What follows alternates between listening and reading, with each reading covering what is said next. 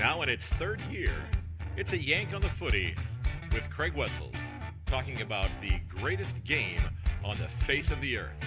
Sit back and enjoy, everybody.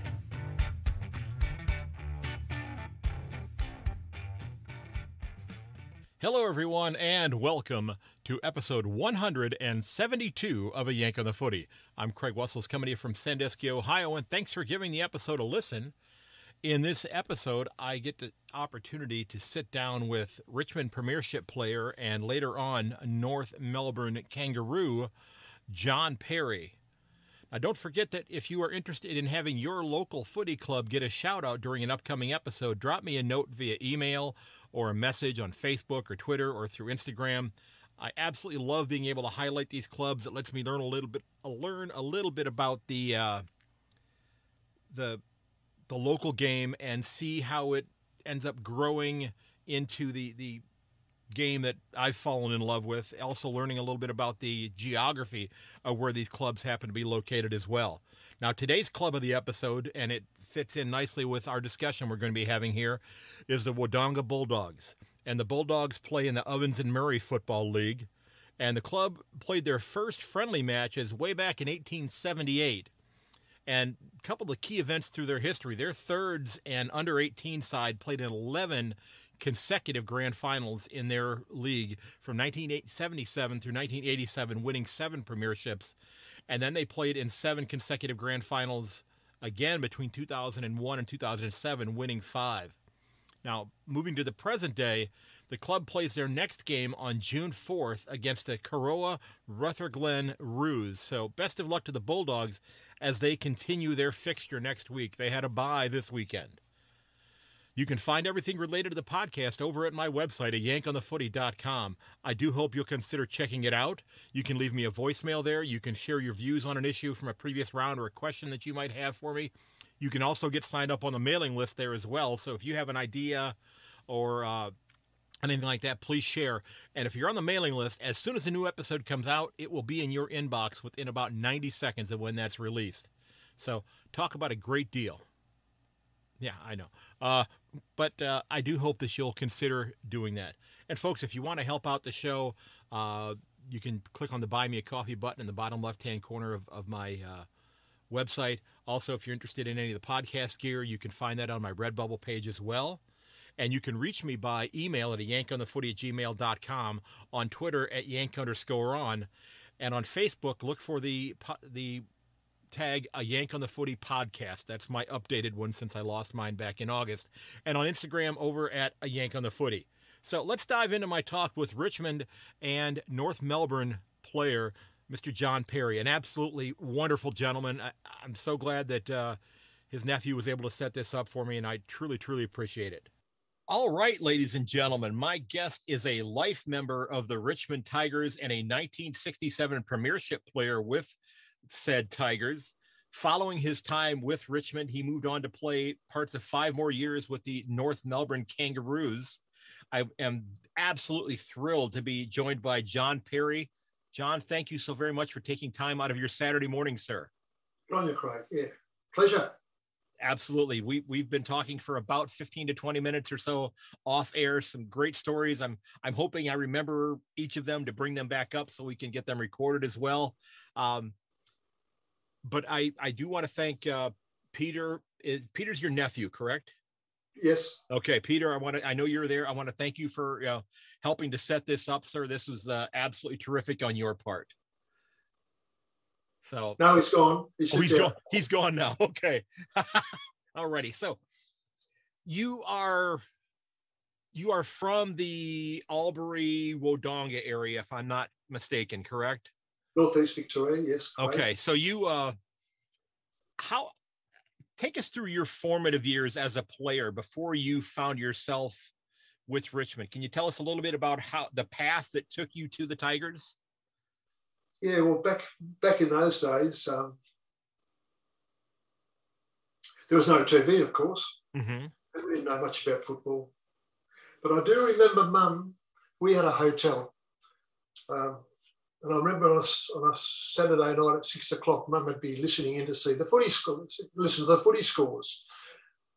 and the waves would come in and out, you know, where you pick up the, the announcer, then, then you drift away and mm-hmm. sort of reception from Melbourne. And whenever Richmond won, mum would jump up and down and scream. And we didn't know what was wrong, what was going on. And we, as we got older, we realised we heard little stories, snippets of information that she had brothers who played down there. Mm-hmm. Um,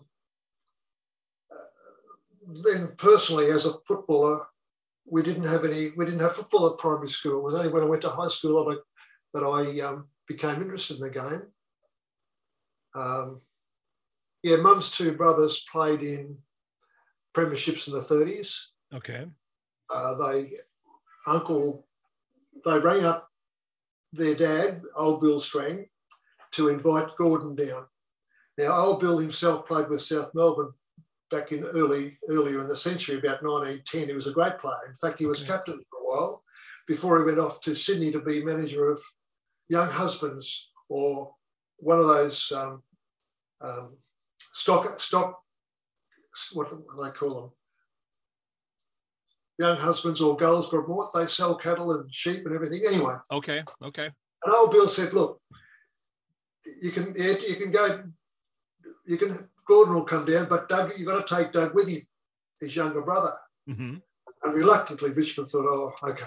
So, so they've both gone down, and uh, they they played the first match, and the second match was against North Melbourne at Punt Road. And old Bill Strang went up to the Checker Hughes, the coach, of, and this is income, it comes from mum, went up to Checker Hughes, the coach of Richmond, and said, Look, thank you very much for inviting my boys down to play with this wonderful club. We left Albury at three o'clock this morning to get here. Now, if you don't play young, young Douglas at full forward and young Cocker at centre half back, they're going to get in the car now and we're going to go back to Albury. This is before. Gordon's Gordon's taken 18 marks as an halfback. Uh-huh. Douglas has kicked, which is still a record number of individual goals. He kicked 14. Wow. In his wow. second league game. Wow.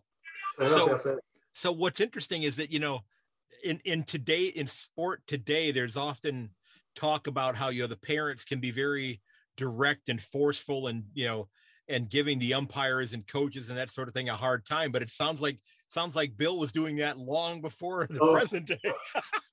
unreal. Yeah, um, that's that that's amazing. So and, and, and, Craig, when they when they went down there, because Jack Dyer is a great, he's a Richmond immortal, Jack. Mm-hmm, mm-hmm. And played 300 odd games, coached, and anyone in football knows of Jack Dyer, who passed away, of course, about 15 or 20 years ago now. Um, he used to come up home to our hotel in Wodonga, which is 300 miles from Melbourne or 200 miles from Melbourne. And uh, he'd spend a week every every year at the hotel. Different ones would take him shooting and fishing and everything. But Jack used to, I remember Jack saying, What in the hell are Richmond doing bringing potos to our club? But when the boys played, and plus the fact they had the pub over the road in Punt, uh-huh. on, on Punt Road, the players soon changed their opinion of them. But okay. uh, religion was a pretty strong back in the 30s. Right, right. Which was a Catholic club. Anyway, but push all that aside, they just embraced the boys. Yeah, so they were they're very, very, very big. It's a big name at Richmond, the Strang. So, so mum was a Strang. So, mm. so the fact the fact that your your family played with this club that helped to lead you to becoming part of yeah, this well, club then? Yeah, well, they kept an eye on me, I suppose, and uh, and I, of course, I started playing juniors when I was about 13 mm-hmm. and as you get, as you get, and I used to, I remember I used to run the hills around the pub and lift logs of wood, trying to get strong and wanting to be a good player. And then as the years go on, you become stronger and bigger. And I was starting to show a bit of this and that. Yeah tell it up here, I guess. Well, and, and that's that's what you had to do to help build up your strength because you know the the the club didn't have the the 10,000 square foot weight room and oh, no. fitness no. room and that sort of thing. You, you, you, you were what you became what they call country strong. right? Where you you were uh-huh. doing things that to help build you up to do the jobs that you had to do. I was a younger brother, Alan, who played at South Melbourne, but his career was interrupted with the war. Mm-hmm. He, he was the one, the spirit rep, and uh, I was in Melbourne with him, in Richmond actually, looking servicing some hotels, and he said, if you walk around those, if you turn at the traffic lights up there and walk up 100, 100 yards, and over the roads is the ground where your brother, where your uncles played, which was Punt Road. Mm-hmm. So I went for a walk, and I found it, and I walked up, and I stood there and I cried. Wow. Not, wow. I didn't know anything about football. All I know, all I know is that they played for Richmond and they mm-hmm. were great players. And I'm looking at where they played. And I guess it was that moment that that uh, was like a magnet, I guess. I, I just wanted, I wanted to be them. I wanted to emulate them. That's where you see, yeah, that's where you started to figure out why your mom got so excited when she heard yeah. the football scores. Yeah. Then, yeah. okay, okay. And then I then I started playing the game, mm-hmm. riding my bike into Wodonga, and uh, as I said, as the years went on, I yeah. And as a young fellow, I got um, I won Wodonga's best and fairest. I got runner up in the league best and fairest at the age of seventeen, and Richmond knew all this, and they invited me down. Okay. Um, so you you played your first games with Richmond in 1964. Yeah, let me tell you how easy this how easy it was, Craig.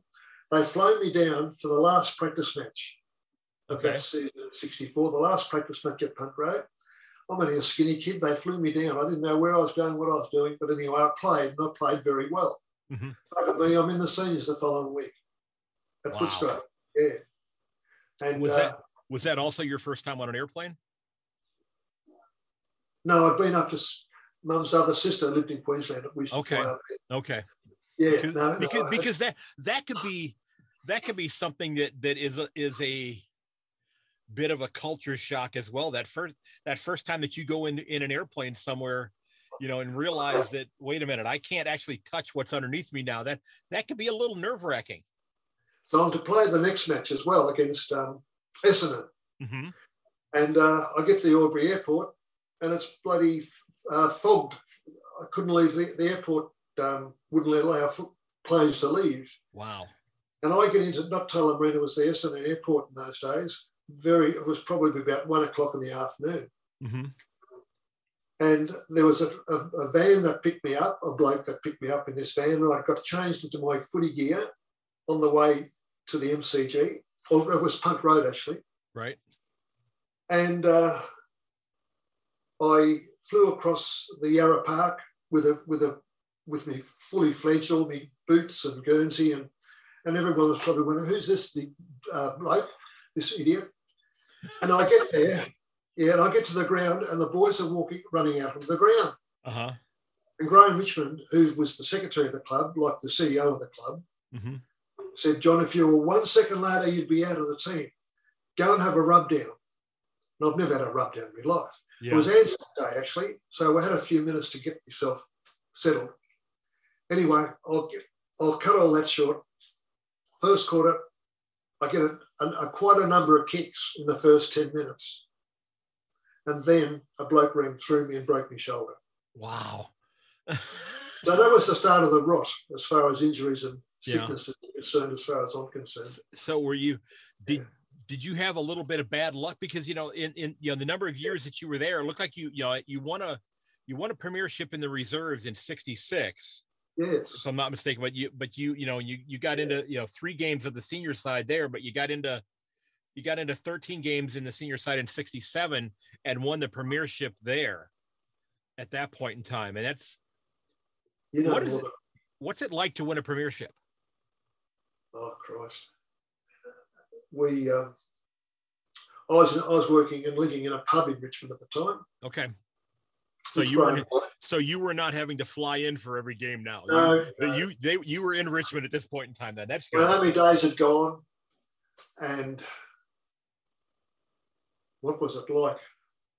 Hey, look, it was 23 years since we'd previously won a premiership, mm-hmm. and there's people crying everywhere. They were so. It was the greatest thing that ever happened to a lot of people football stirs up a lot of emotions, as you know. Oh yeah, oh yeah. Uh, particularly our game. It was just we were so proud to be able to deliver a premiership, and we were all proud of each other too. Don't worry, we all hold on to each other even today. Mm-hmm. We have reunions every year, and all the boys come, and we're all brothers. It's a wonderful, wonderful, wonderful thing to have happened to me. Experience to have happened to me. Yeah, I mean, you, it's you did something that so many of your peers that played on other clubs didn't experience. Yeah. yeah. You know, you you you you were in a position, you know, there may they may have been wonderful players, but the circumstances that they were, their club could not get into the position where they were gonna they, that they were gonna win that premiership. I suppose you know? when, when you haven't won one, you don't know how what it is like. Right. Yeah. I mean, you look at you look at what went on this past year with Melbourne you know, who hadn't won one since 19 well, since 1964. Yeah. yeah, since he, you know, because I, you know, that was that was why I was able because Frank Davis's son lives here in the United States. And I talked to him. It's been a little while since I've talked to him, but normally I'm talking to him every week or every couple weeks. I'm trading messages with him online. But he, you know, he started one of the the the teams here in the United States in in Minneapolis, Minnesota. Oh, good boy. His yeah. father was a fine man. Yes, he, oh, he was he was an absolute gentleman. I mean, that's that's the thing is that I I you know I've I you know I I I love talking with you know when I spoke with Mr. Nixon, but you know, um, Mr. McDonald, Mr. Davis were were just absolutely gracious gentlemen, and I you know I, and it enjoyed my time that I was able to spend with them, and it's it's been you know it was it was great. When you speak to Frank Davis's son again, Tell him to ask his dad about when Sam Kekovich went through him from North, North Melbourne. I was playing with North Melbourne at the time, and Sam went through Frank Davis and me in one collision. Frank Davis is, I got a eye, not my eye didn't leave me socket, but I copped a beauty around the eyes. Yeah. And Frank's testicle went up into his stomach and didn't play for six weeks. Oh my God. How brutal is that? Well, and, in, and, inter- and interesting, interestingly enough, his son is here. So yeah. See him, I guess you only need one. He's lucky to be here. Yeah, exactly. that you said his name. His name was Kekich. Kekovich. Kekovich. Okay. Kekovich. Oh, a big name at North Melbourne. Okay. He came from up at Myrtleford, just up this way. Sam. Okay. I, I will have to ask him about that. Oh, yeah. Wow. I mean, I, I mean, I have. I mean, I actually what's interesting is that is that the son is a D supporter. He's a mad D supporter, but he also has several daughters, and they and they're younger. They're all Hawthorn supporters because they they became footy fans while he was working in the recruiting office with the Hawks when they were winning uh-huh. all the premierships back in the I think it was the 80s, I believe, when they were winning the, the premierships there so they they they got they to experience that and and he was old enough that he got to experience a little bit of his dad when he was still with with the d's. So that it's kind of a neat little uh, dichotomy but between them there. So you mentioned that during your time that you were with richmond that you you had to serve national service. Now was that what years did you have to do that and what did that consist of? Well well i just came out of the blue I was in the very first intake, and I was the first footballer to go in. Mm-hmm. There was no one, there was no experience beforehand. We didn't know what was going on. We just had to be at um, at the Swan Street Barracks at, in Richmond just at, at a certain time on a, on a first of July 1965. Okay. And then we're off for two years. We didn't know where it was going to take us. It took me. I was lucky because when Mr. Mr. Holt was the was the Prime Minister of Australia, uh, and he's, Vietnam he, he's the gentleman who disappeared in the surf, correct? Yes, okay. Yes. yes. And uh, Vietnam was on the go. That's why mm-hmm. the national service was introduced. But back then, national servicemen didn't have to go with their unit to Vietnam if they didn't want to. And I didn't want to because all I want to do is play bloody footy. All I yeah. want to do is get to Melbourne. There was no conscientious objectors or anything back then. It was just all new. And I wasn't trying to squib going to Vietnam. We didn't even know what was going on over there. Mm-hmm. Anyway, but um, so luckily I didn't have to go to Vietnam with my unit. I stayed back here at Bandiana. I went to Canungra Jungle Training Centre for three months. but I spent a lot of 12 months back in Melbourne, which enabled me to play footy again. Okay, so you, so mi- you missed out on you missed out on a lot of footy then. Yeah, I did. Yeah, okay. then I had hepatitis uh, whilst I was at Richmond. That was another year gone. Yeah. Uh, yeah, look, a lot of people have luck. A lot of a lot of people have bad luck. But all in all, you do it again, Craig. Yeah, well, that you know, you, you came you came back after you finished it up. Your your first year back, if I'm not mistaken, you won the premiership, correct? Yes, yes. So that's I mean, yeah. three months later. Three wow. months later. That that's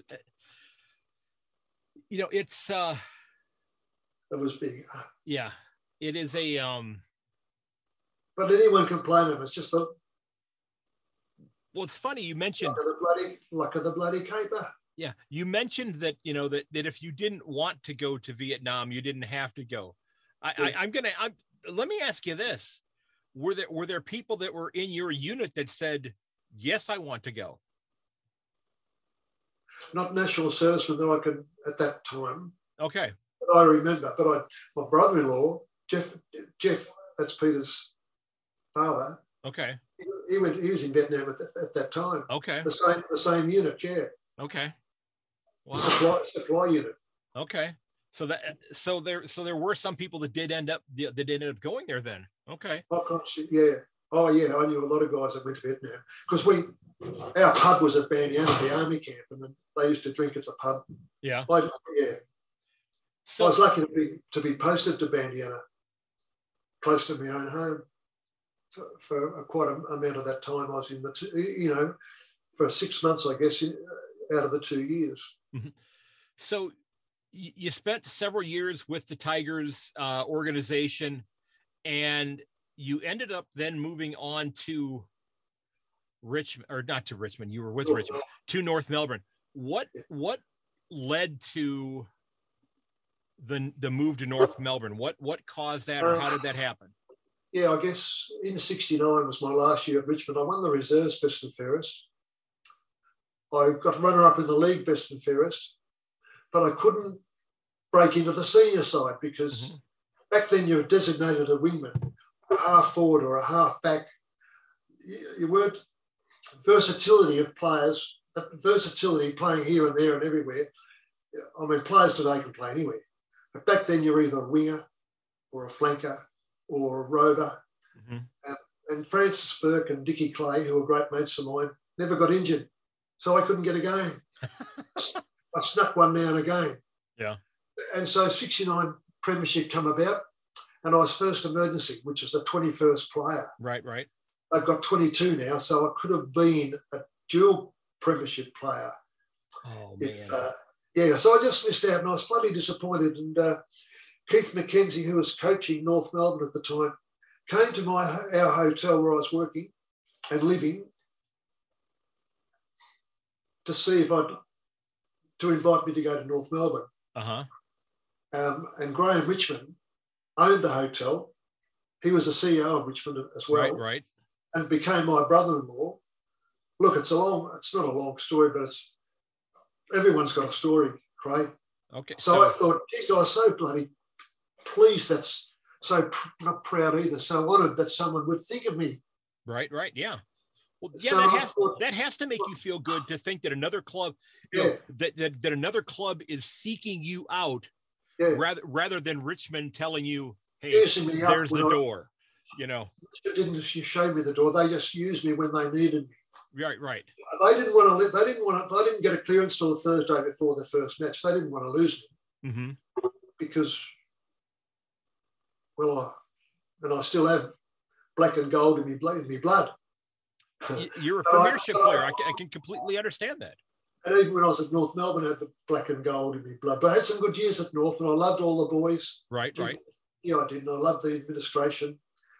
And, uh, and they were as when I left, again, there was other guys coming in that were probably better than I, and I just found myself on the outer. Mm-hmm. And then I went off and played with um, in the VFA with Ted Whitten and Tony Jewell, a couple of great football names. I was pretty right. lucky.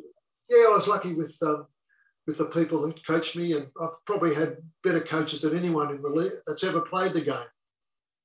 and Yeah, you wouldn't know their you wouldn't know their names, Craig. Well, well, I, I I have them written down. I mean, I I'm familiar with the name Ted Whitten, and I to find where, I moved it. Where I moved it around on my paper here. Uh, Len Smith, number one, he was the instigator of play on football at yeah, uh, Tom Hafey and Ron Barassi. Yeah, Tommy, yeah, Len died. Tommy come on. Yeah, Bracey at North Melbourne.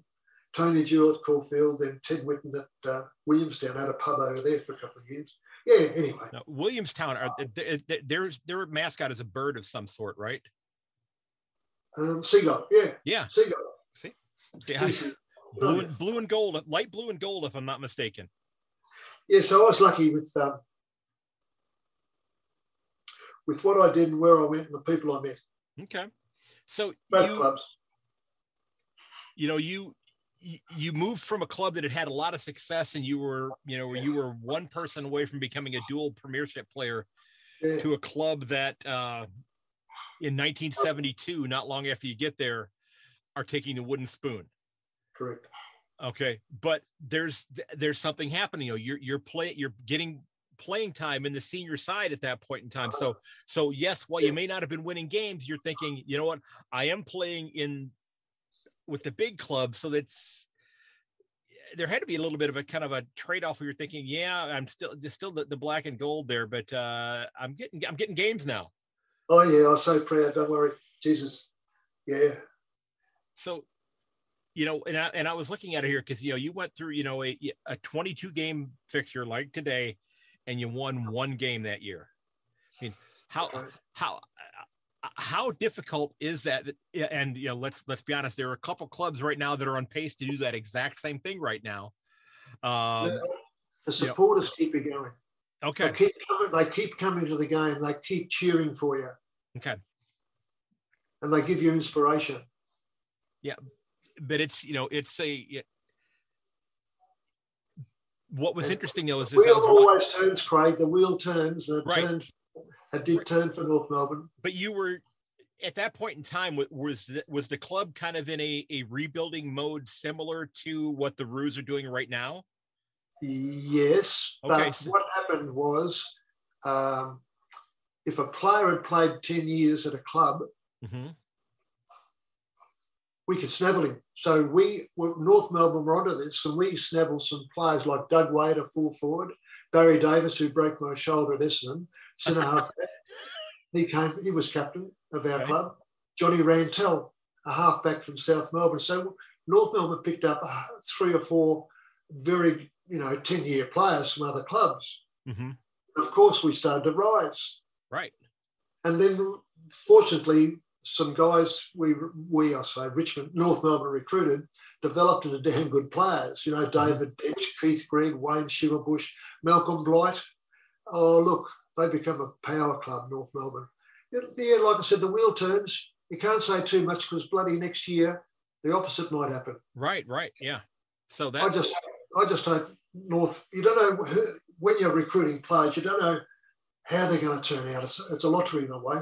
Right and it's and and the, the players that are coming in you know are are so young at 18 or 19 years old that that especially if, if they're nowadays if they're if they're you know playing interstate that's a big culture shock you know Oh, because if Don't you know because like for example uh jason horne-francis if i'm not mistaken isn't he Yeah. from south australia Yes, at Yeah. North now. yeah so you know he's you know so it's, it's a bit of a shock being you know uh, several you know several hundred kilometers from home At 18 years of age, yeah you're only a boy. right And most of those players out there are still boys. You know, they're still they're in their 20s. yes They're only boys having fun. Yeah. Join their teammates. yeah i mean i i just yeah and i look at it and i'm thinking you know i'm not quite at the point in time yet where you know the the the players that are going out there could be my grandchildren yet i mean i'm you know my kids are you know Yeah. i'm I'm 58 years old but they're not quite there yet but i'm, I'm getting close to it though to where i could have you know grandkid age players out there but you know it was A lot of pressure on them. A lot of pressure on them these days with the Oh. scrutiny from, the, from the media. It's bloody horrific. yeah Nowhere to hide. Nowhere to hide. TV, radio, newspapers. well They'll pick up. They pick up every small move. And and the part that you're you know what we're doing right now being on the internet you you have you might have you might have to have peter show you just how some of the stuff has shown up on here. There's so much stuff that is here that that i think you would be stunned by what fine. what shows up on here. And and it, it's not such a bad thing that you made that you haven't checked it out. That's that's completely okay. Time. yeah. I'm looking so, after me horses. And the you know, as you mentioned, you brought in, you know, pl- you know, tenured players from other clubs. You know, you ended up, you know, in '73, you jumped up to the sixth spot on the ladder. You won ten more games. You know, you had a Brownlow winner uh, who won back to back, in Keith, Keith Greig. A wonderful player. You wouldn't see a bloke. He's so graceful the way he moved moved across the field, like an Aboriginal. I shouldn't say Aboriginal, like an Indigenous kid of today. They just he was a wonderful player, mm-hmm. So you know, and as you said, you you started to see the the the young people that they brought in begin to pay off in terms of of developing skills, and yeah. and I and I'm going to jump I'm going to jump away from that for just a second, and I you know one of the people online that asked you know a question that wanted to to ask you a question they they were wondering and let me see i wrote it down here. Uh i actually highlighted it. They said that um oh let me find it here they said they wanted to get your opinion on North Melbourne's drafting over the last couple of years, and and how do you think that they look? How do you think they're going to look like four years from now with what with what they're building right now with with the Roos? A lot of luck in the Cape Craig, like I said before. You don't know the quality of the person you mm-hmm. recruit mm-hmm. as far as how tough they are in the mind. Right. They've got to put themselves through a lot of purgatory, and some blokes can handle it and some can't. You don't know. It's too young. No, it's hard to it's hard to say. You just hope to God that they can um, pluck something out of it and become because they've been horrid, haven't they? Mm-hmm. Oh, you don't know. You don't know. You don't know. Yeah, don't know. It, it is. It is tough, but it. Um, the bounce of the ball. Yeah. Some clubs have luck, others don't. Like you pick a player at number six, he's a dud. The bloke you, you, you should have gone for become a bloody Brownlow medalist and premiership or whatever. You know, you yeah. just don't know. They're too young. Now, I don't I don't know how much you know about the the the NBA here in the United States, but I'm sure you've heard the name Michael Jordan. Oh yes. Yeah, you know, Michael Jordan was a phenomenal basketball player. I believe he was picked number two in the draft behind a a very tall young man by the name name of Sam Bowie, who was a center at the University of Kentucky, who was an okay player, but he wasn't Michael Jordan. Uh, so, yeah, so he he he is always lumped into that. You know, the, that team could have could have had Michael Jordan instead of him. Um, so yeah, so you you spent several years with the the Roos, and then you move on and head back to Wodonga and you become the, the captain and coach of the club there in 1977, if I'm not mistaken. Yeah. But you ended up having to stop playing at that point in time because it's you know from what I have been reading, you had a rather significant injury that took place. Is that something that that I still get emotional today. Okay. It was the first quarter of the first game that I coached. Oh man! And I got squashed by a, a big uh, lumberjack, big bloke from Myrtleford. And look, I got, my stomach was perforated, my pancreas was perforated, I had four wow. lots of bowel, four lots of intestines and bowel taken out. Over, I was in hospital for 16 weeks and but here I am, fit as a bloody trout. No, no fit a seventy-seven year old in Wodonga. Because yeah, I used to run, I used to run the hills, Craig, yeah. and I was, I just knew what you had to do to be as good as you can be. Yeah. And uh, I was so so fit. That's what got me through. Plus a damn good surgeon who just mm-hmm. came to Wodonga yeah. at the time, and. Uh, and I couldn't get back to football again in case I got a, a, wayward kick of any kind when I was trained. When I was, if I couldn't go back to coaching in case I got a wayward kick by, you don't know what, what happens. Right, right. Training, you don't know. Or someone might run into you, even though you're not playing. Mm-hmm. No, I had to give it away. Okay. Uh, So- went into the illustration side of things. Okay, I was. I was going to ask that then. So you you kind of stayed with the game in another capacity then after you were yeah, we developed a second. Yeah, we sec, we developed a second Wodonga team to come into the Ovens and Murray, Wodonga Raiders. Okay. Uh, Brian Dixon, who coached us at North, coached me at North Melbourne, became the youth sport and rec minister of Victoria, and I went and saw him about about uh, getting some money for the Wodonga Council to develop a second ground Okay. because football was uh, um, with Lavington and North Albury and Albury were full of Wodonga players going over to try and play like I did at North Melbourne. Went Right. to North Melbourne to get a senior game. There's a lot of boys going to Albury and North Albury, Lavington for Wodonga because only one team in Wodonga. I know winning premierships at Wodonga. Anyway, cut a long story short. Brian Dixon um, handed the council some money, and we've got the most wonderful facility up, second facility up here in Wodonga. So I put my energies into that after I, um, after my injury, well, after I'd give, had to give away coaching. On the admin, on the administrative side then. So you stayed with that for a while. Okay. Mind you, if I'd stayed coaching, I would have had to build a new club rooms at Wodonga to put all the bloody premiership flags up because we had the best thing going. I'm telling Yeah. you, no boy would have left me. Yeah. Yeah, we would. I reckon we would have. That year, they won their first 12 games. They were so fit. Okay. Anyway, and got Yeah. knocked off by five points in the preliminary final. Now, if I'm Yeah. not mistaken, and I and I could, you know, I I I, I have, have spoken to so many people, but I mentioned to you that I had spoken to somebody back in February that was with the Albury Tigers, and I believe he sent me a video of a uh, Ovens and Murray um, grand final game that just became this huge fight, if Oh, I'm yeah. not mistaken. Wodonga, Lavington, yeah. Yes, yeah, that was the other club. Yeah, I've watched I've watched that video, and it was just, and it just it seemed like it went on for many, many, many, many minutes. Still Yeah. spoken of today, of course. Yeah, Back in, I think it was about 80, what, 89, was it? I think that's something like that. Yeah, something like that. Coach of, coach of Wodonga ended up being the umpire in charge of umpires in the AFL, Jeff Okay. But no, he wasn't one of the instigators. He was. Yeah. Uh, that was pretty brutal. That one, yeah.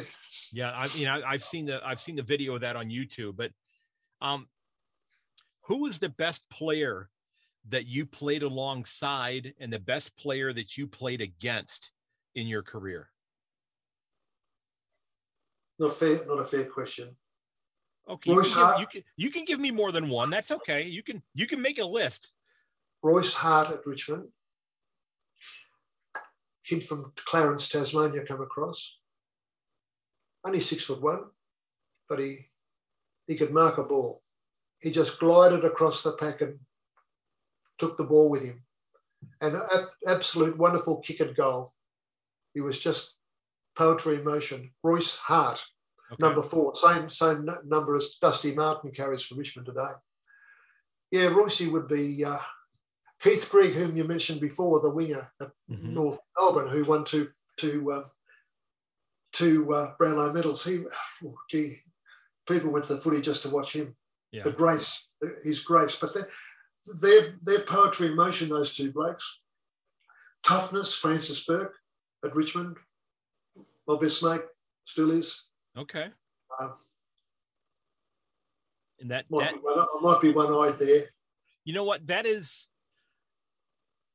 I I'm just gonna say that that that is wonderful that you know that that somebody who you played alongside over 50 years ago, you're still best mates with today. I mean that is just that is something that that that people can only dream of of being able to have in their lives is having somebody that that you can say 50 years out that you could you know you could call him you know at the drop of a hat you know if you got an issue or something to talk about or whatever and he's there he's there to help you That's the wonderful thing about a team sport.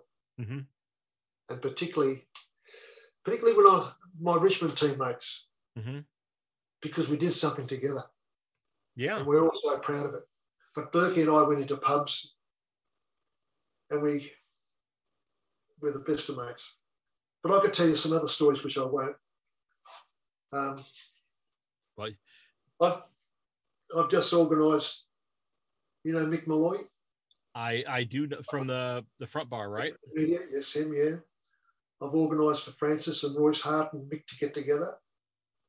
And Royce is a recluse in Tasmania mm-hmm. Um, and then there's other stories I could tell you. It's only because you know people for a long time and they trust you and everything like that.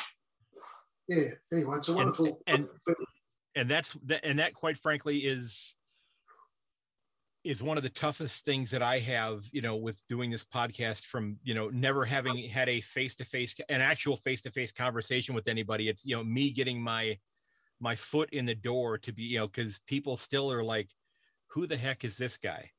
Uh, so you know, it's but it's I'm you know every, every time I, I, every time I get to speak to a gentleman like yourself or to you know or or something like that, it, it helps to just build that a little bit more that you know that maybe that pays off in spades down the road a little bit more. But yeah, that's yeah, it, it's terrific that that you you got Mick Molloy going down there. I don't I don't get to see the front bar as often as I'd like. Um, I can watch that one on YouTube. Mick didn't um, say I wanted to be part of the front bar. All he wanted to do was bring them together mm-hmm.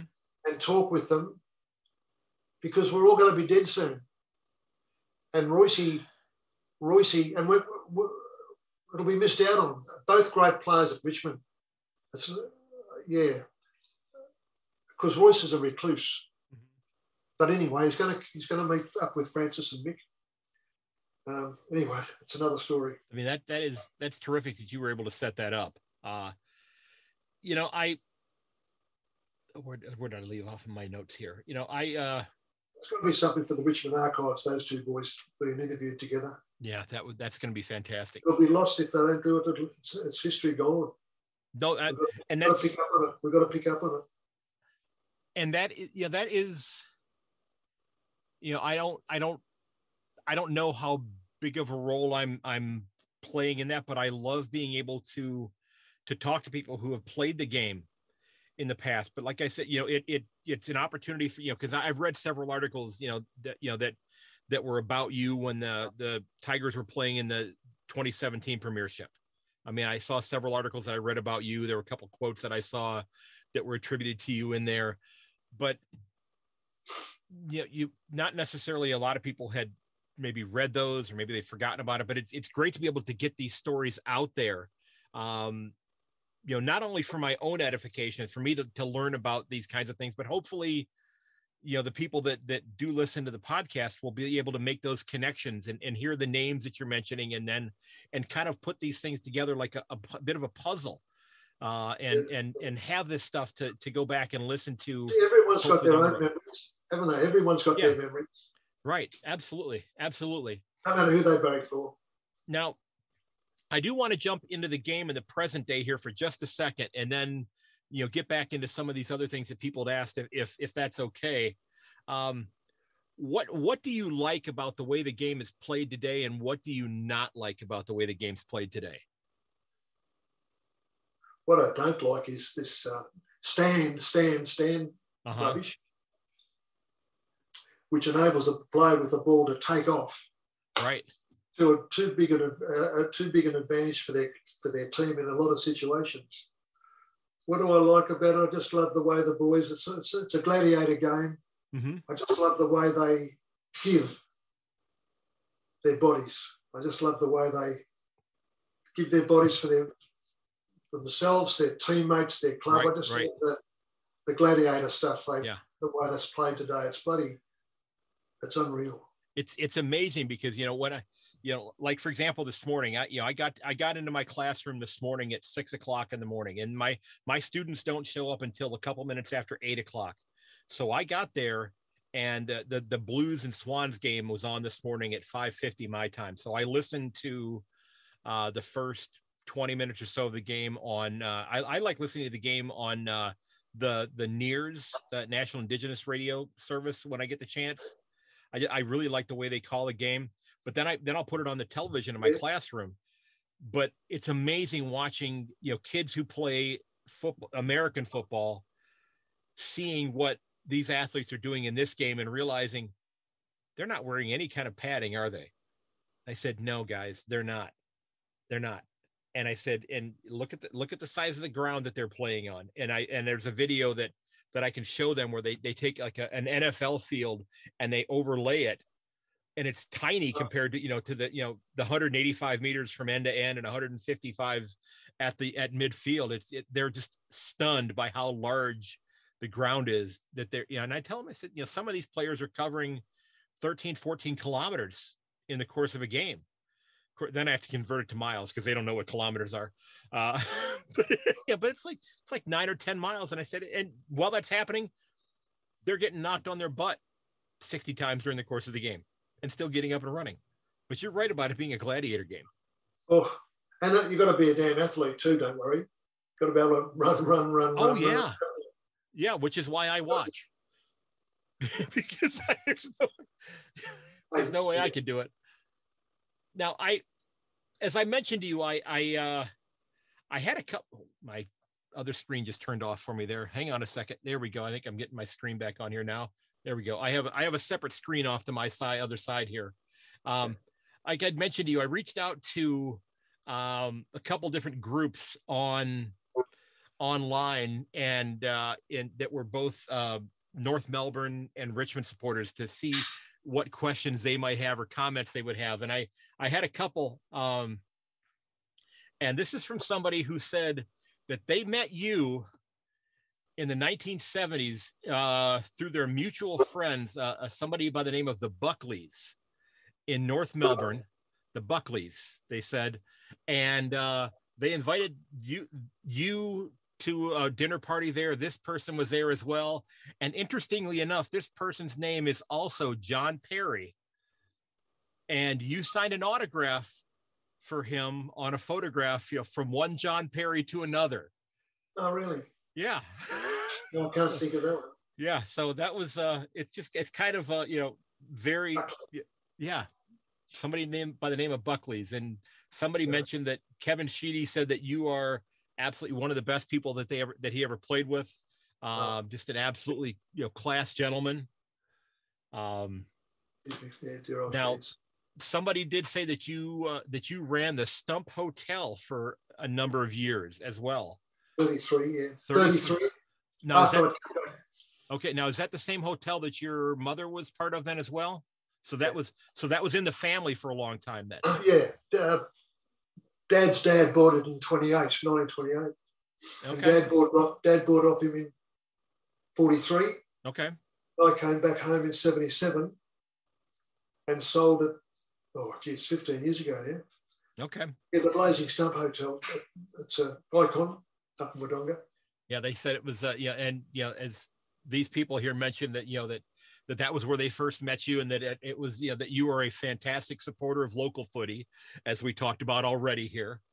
Uh, they sent along a, uh, a photograph here. I think it might actually be the photograph that you autographed as well. Then, now I had a uh, a gentleman by the name of Wayne Flanagan who dropped a note here that said, "My dear mate, the late Daryl Sutton, played a few games with you in 1973 before he contracted glandular fever. And uh, as he said, as you know, Daryl returned to North in 76 and the rest is history. If I if he had the chance to talk to you, he'd ask uh, what your memories were of Daryl and more generally about being at North during the first year under uh, Mr. Barassi. And he this gentleman was a statistician in 1973 for the Roos. What was his name? Uh, Wayne Flanagan. Now, I don't remember his name. Daryl Sutton, yes. Daryl was a, a very talented player, but he, he just lacked a bit of, um, he was, I shouldn't say he was slow, but he just lacked a bit of pace. Okay. And was found out at different times because of it. But a, a lovely contributor. Um, Daryl Sutton, yes, I heard he passed away. Yeah, it's uh when Barassi Barassi came, hey listen, you've got to have a player, don't worry about that. And Barassi had it. It makes a player makes a coach a, a coach, you know. Yeah. Oh, I'm not putting shit on Ron. He uh, he wouldn't have gone to North Melbourne if they weren't getting these 10 year players. Okay. The club was on the rise. He wouldn't have picked North up from the bottom. He came when they were showing something. He brought a lot to the club as far as interest and when I say interest, the, the, of course, the football world looked at North Melbourne when Barassi came. Mm-hmm. And yeah, won two premierships with him. Good on him. And and him and him being there, did that did that help to bring in some of those 10 year players? No, they'd come before. Oh, they come before. Okay. Okay. It, yeah, it didn't only last about four years. Maybe they got a couple at the end. Okay. Yeah. No, the players came because they got a few bob to Squadley. Players left at, at 10, 10 years at their club. They went to a, another club because they were mercenaries. They earned a quid. They got 10 grand, which is a lot of money in those days. That, that, that is a lot of money, yeah. And they couldn't say no to it. Well, it makes sense. Yeah, that they, yeah, it, you, I would think you would have to take it. It was a, it was because, awful rule. Was an awful rule, really. Right, but but at this point in time, you know, when you when you're playing the game, you know, playing in the VFL was still, it was not a full time job yet. I mean, in, in many in many ways, the position you were in in the 1960s and 70s is where the women in the AFLW find themselves today, where it still is a bit of a it's a part-time job. Although in the last couple of days they just got themselves a significant pay increase. Um, you know, where do I sign up to get a 94% increase in my salary? I I, I might I might keep teaching for another few years if they do that. Uh, I'm, I'm personally not a big fan, but then again, my granddaughters might play the game down the track, and there you uh, go. So yeah, I, sort of, I should zip me zip my mouth. Well, it's it has. I will say, you know, because I've been watching it from the outset. It has improved every year, as the as the skill levels have improved. You know, scoring is improved. You know, somebody somebody described it to me during a discussion that it was that for the first couple of years, in many instances, that it was an awful lot like watching seagulls chasing after a chip. Uh, you know, as far as the ball. Yeah, yeah, good one. So, um, you know, I uh, I had one. This is a this is a, uh, a kind of a fun one here. A gentleman by the name of Mark Peterson jotted down a note and said that that you played with his father Robert Peterson from 68 to 74 and he, and he and he has a he put a smiley face on here and he said to ask Mr. Perry was my dad really any good? Because I want to go ahead and verify dad's stories. Yeah Robbie bloody he was a champion. Not only was he any good he was a great teammate too. Yeah he was just a lightly built rover. Uh, he's a doctor at Seymour now. Seymour's sort of 100 k's this side of um, of Melbourne. Okay. Uh, Robbie, um, Bonza boy, he didn't have any great strength because he wasn't built that way, but he played a lot of games and he gave it his all. He was a very much loved player at North Melbourne. There you go. And he should be proud of his foot, dad's football.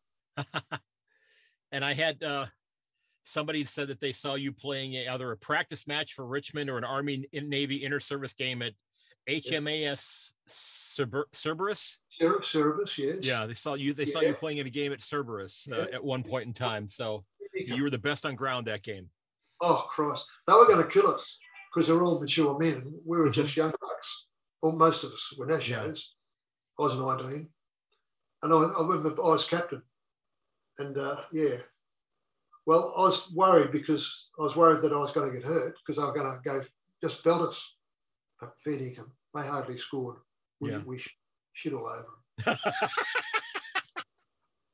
well, Never forget that match down at Cerberus. HMAS Cerberus. Now, yeah. keep in mind what you said a few moments ago is that, you know, you talked about how, you know, the game takes pace and that you have to be in extraordinarily good shape to, to play the game.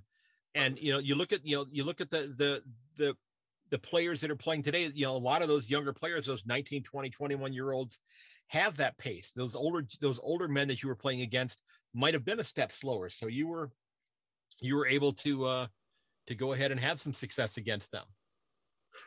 They get into the gyms at a younger age. Mm-hmm. They're, they're fairly well, most of the boys that come into the caper at the age of 18, it's amazing how their bodies are like 25 year old men. They pump a lot of work into their bodies. Yeah. Yeah. yeah. And and this this this this last one here that I jotted down that somebody shared, it might be a little bit obscure because it, this was gentleman with your coach. Somebody by the name of Kay Murray said, I went to a party with John 50 years ago at Tom Hafey's house. He won't remember, but we do. yeah, Tommy always used to, uh, their door was always open, Tommy. Yeah.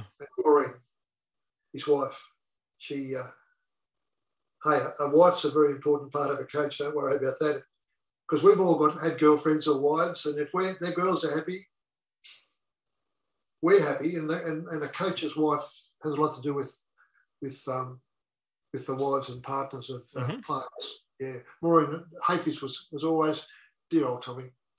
Maureen's still going well, dear little more. But uh, yeah, they welcomed us, welcomed us at their home whenever we were driving past. So let me ask you this question uh, before we wrap up here about the the present day. Do the does this Tigers group have another premiership run in them? Yes, you can okay. see it over the last three weeks. We've got to, all our players have come together again from different injuries. Mm-hmm. They're starting to worry about us, Craig. Yeah. But then again, we play Essendon tonight. Well, yes, they're on the back foot because they've been they've been poured a lot of shit on them about being scared, and they'll yes. be coming out tonight. They'll be, whew, they'll have, they'll be proving to the football world that they're not, they're not scared. They're, they'll be, they'll give it their. It's going to be a tough game tonight, but we're, we're so classy, Richmond. I reckon. Mm-hmm. The movement of the ball and the handling of the ball is superb. Well, and and it's starting to be where you're starting to see some of the younger players on the club begin to step into the forefront. You know, yes, you know, Tom Lynch is, you know, you know, is up there in second place on the Coleman ladder right now. You know, Jack Riewoldt has kind of taken a step back from him a little bit.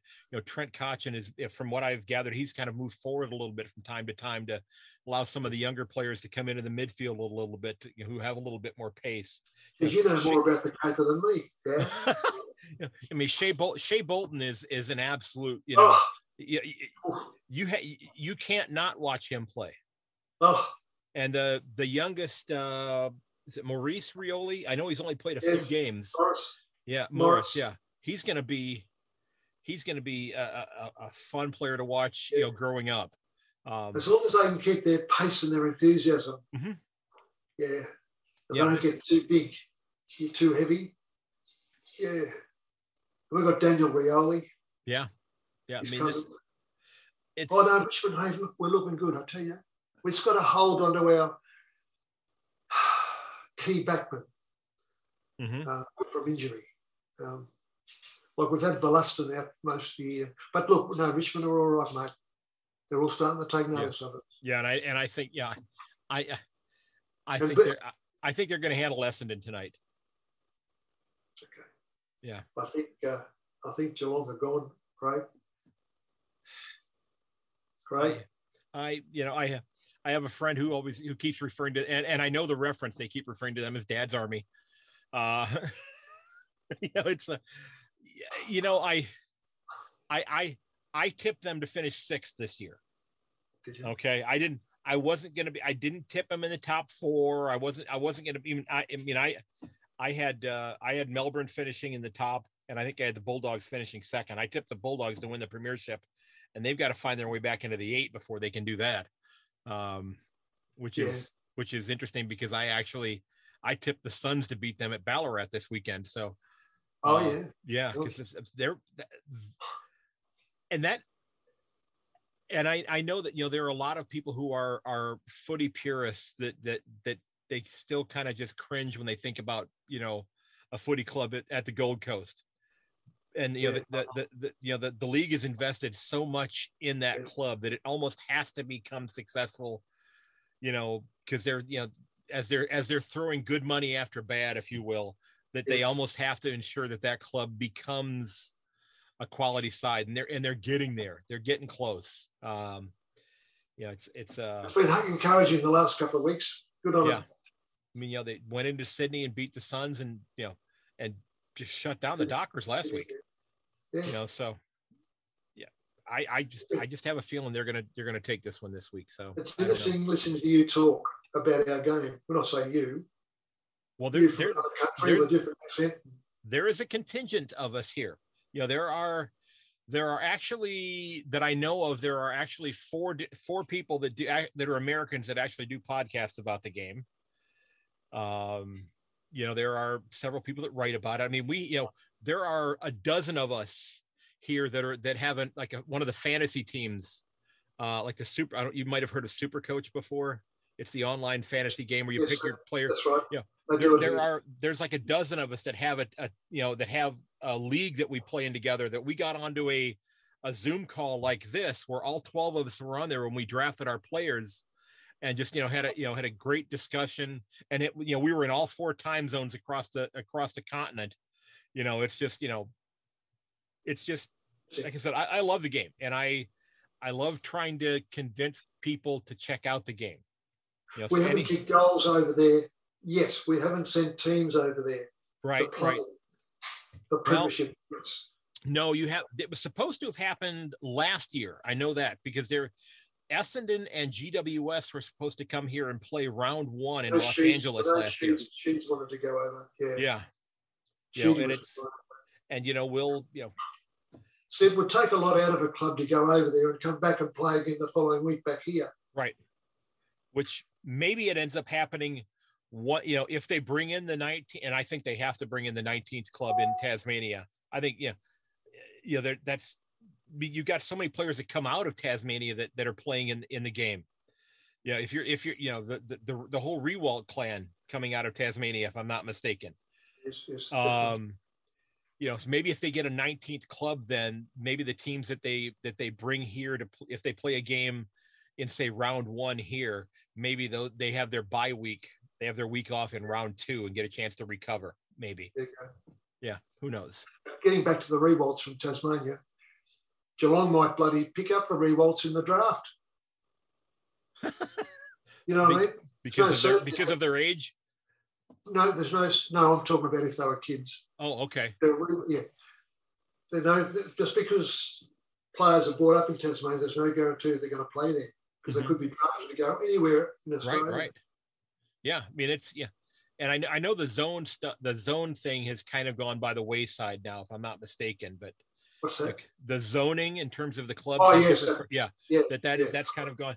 Although they they still have that, I think for the the two clubs in Queensland and the two in uh, New South Wales. I think both Sydney clubs and then Brisbane and GWS still have that to allow them to establish their academies that they have. Yes. Okay. Yeah. Yeah. So it's it's you know it's um. But yeah, bottom line, I, I'm I'm fascinated by the game. I love learning about it and well, you're on the right track, Craig. I, I appreciate it, and it, it, it's a bloody ripper. Oh, it is, and I, and I, and I, I, I do have to, you know, full disclosure. I did tell you that that there, you know, that you know, as we talked about off air, that I, you know, I, I'm I'm supposed to not like Hawthorn because I'm a Geelong supporter, but I don't dislike any of the clubs, but I'm I'm a little I'm a little frustrated with with one of them. Okay because la- after i'd had frank davis on I, and uh, i got a i got an email from sen uh, that they wanted to talk to him uh, before uh, the kind of like they did the articles with you having you know before the 2017 grand final with the tigers that they reached out to people who played on was was the 67 one the most previous one prior to 2017 no okay no, so there was some in between then right four in between okay um, but there hadn't been any for for Melbourne. So they wanted they wanted to talk to you know to Frank Davis. So they wanted his contact information. So I gave it to him, and they they told me they said, well, you know, and this was on the the program called the Sporting Capital that's on there. And they said, well, you know, we'd like to get you on the talk because you know it's kind of interesting, you know, an American who loves this game and is doing a podcast about it. So I'm up at four o'clock in the morning my time on the Thursday before the grand final, ready to go on that mm-hmm. that radio show and i checked my email that they decided to they had to they had to cancel me being on there because Carlton couldn't wait until the Monday after the grand final to hire Mike hire Michael Voss to be the new senior coach. Oh, so so they talked about Vossi all day instead of you know instead of getting me on there. So well, I don't dislike Carlton. I'm just a little grump. I'm a little grumpy about the fact they couldn't wait for a couple more days. We we played football to beat those bastards. Yeah. and yeah. Collingwood. Yeah, yeah. Col- Collingwood missing. Well, see, I you know when I was when I was deciding on what club to support, I had actually narrowed it down to three clubs, and the Cats ended up winning out. But I, um, Collingwood was one. I because I, but I eliminated them because I my thinking was, you know, I, I, and I don't know why I was thinking this at the time, but I, I eliminated them because I thought, you know what, I want to go ahead and support a club that's not one of the, one of the nine that are in the, the, the heart of the game in Melbourne. Mm. You know, Geelong is kind of on the periphery. You know, that yeah, there was that Ford connection, but the other one that I almost oh, yeah. chose to support was Brisbane. Oh, yeah. You know, so and I, I don't think I could have gone wrong with either one of those. But like, but I do. I mean, I talked to supporters of of all the clubs and it's not you know and i i'm not somebody that likes to give i'm not somebody that's gonna you know just go be a jerk to anybody about the fact that their club lost or anything like that. Right watch, than, out, watch out for watch out for the lions. They're a big uh, a big threat this year. I think so.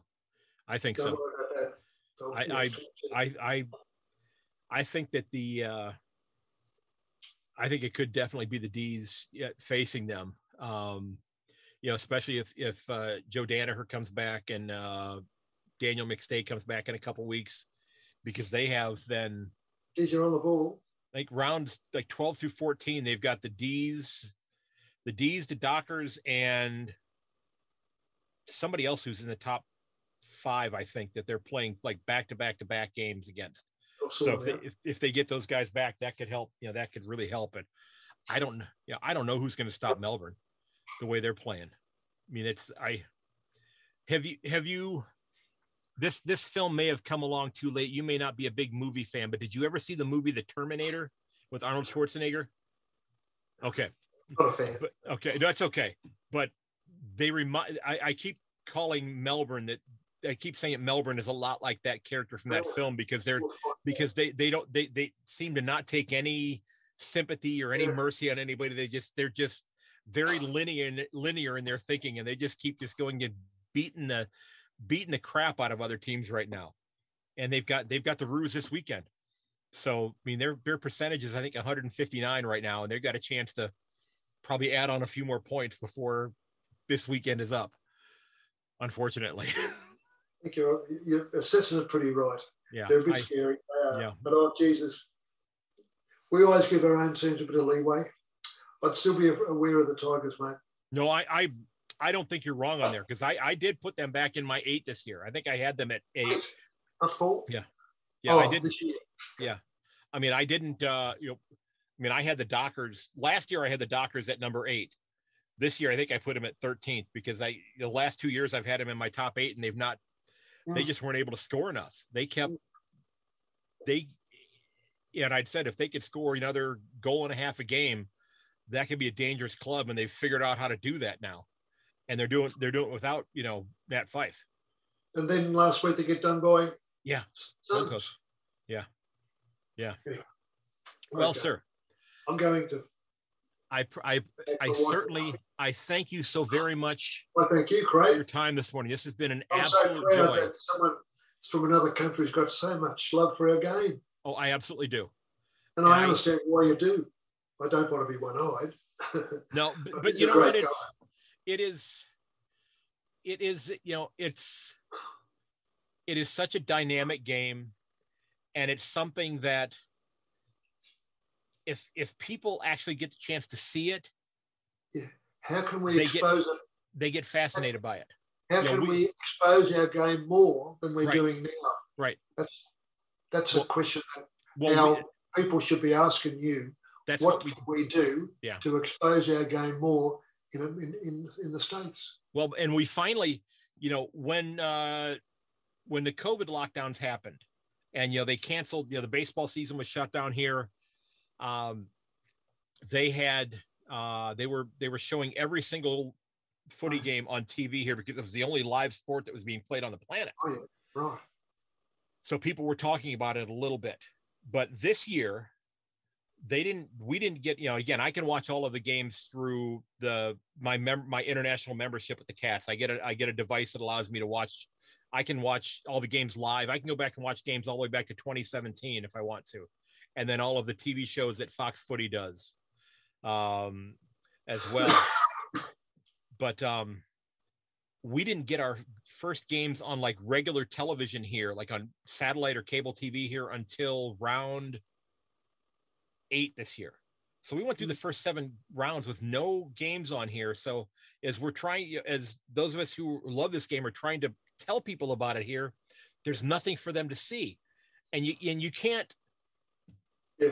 you can't, you know, convince them to. Yeah to invest, you know, $130 in a membership for a club for a game they've never seen. But if you if the game is on here, we can get them to, you know, spend, you know, yeah.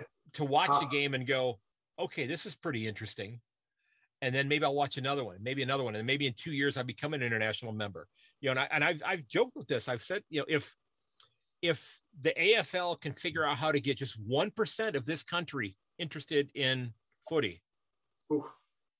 that's one percent is three point what's that's 10% of the Australian population. It's over three million people. It's just the game's just waiting to be picked up. Absolutely. Yeah, and you know, and it's being played here. Like I said, there are there's over 50 teams playing here in the United States. A lot of a lot of people are Aussie expats that live here, but a lot of them are Americans as well that that that have picked up the game that have fallen in love with it. And that's what I'm going. That's what I'm going to watch tomorrow morning down in uh, in our capital in Columbus. Well, well be proud, yeah. Craig. Be proud. Yes. Well, thank you, sir. You've and, got a you've got a game to be proud of. No, I I absolutely do, and I hope I hope in about four hours I'm very proud that things have gone well down at GMHBA because you know this is you know it's it's round ten, and this is only the third game that the Cats have played in Geelong this year. What does GMH GB stand for? Uh, I it's it's the name it's the the naming rights for the stadium in, at, at Kardinia Park. You know what it means? GMHBA. I think it's a hospital. Geelong. I think it's Geelong Metro Hospital something or no. I I'll be honest. I don't know. I I just I. It's Kardinia Park. Yeah, I don't know. I uh somebody's going to tell me that and, and be mad that I didn't know what that acronym was, but uh, I apologize for not knowing it. But ladies, ladies and gentlemen, my guest has been uh, John Perry, Premiership player with the Richmond Tigers. And John, thank you so very much for taking time out of your Saturday morning, sir. I, I this was an, an absolute joy. Oh, hey, and for me too, Craig. Bloody ripper. I appreciate it, sir. Thank Good you boy. so very much. See you. And a huge thank you to John Perry for being so generous with his time.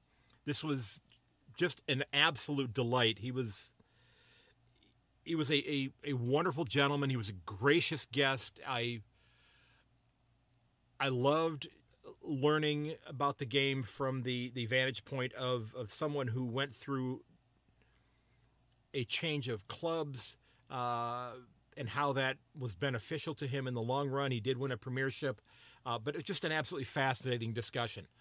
And I'm hoping that that discussion is going to lead to some others. Uh, we've discussed that a little bit, and we, we, shall see what happens with that. Now, many of you, like I said, have signed up for my mailing list over on the website, uh, yankonthefooty.com. I do encourage you to ask your uh, friends who are footy fans to sign up as well. And uh, you can also find that document over in the show notes in terms of how to do that.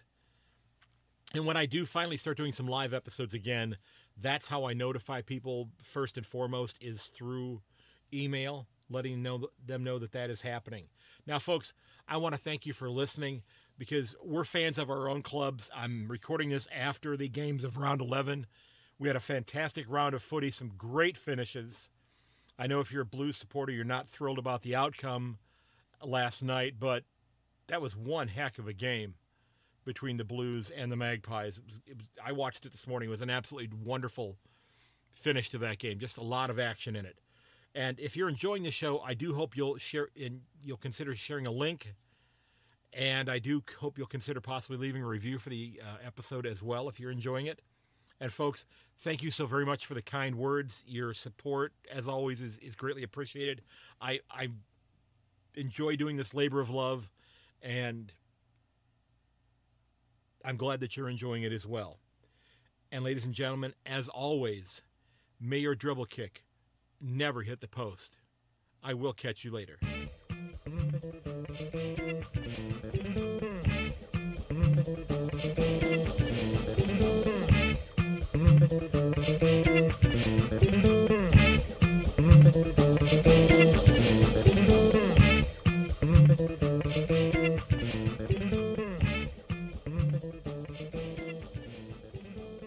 This has been episode 172 of A Yank on the Footy. Don't forget that you can reach me at yank underscore on on Twitter or to yank on the footy at gmail.com. You can find me on Instagram at yank on the footy and on Facebook. Just look for a Yank on the Footy podcast. Again, thanks for listening. And until next time, ladies and gentlemen, this is Craig Wessels. Goodbye.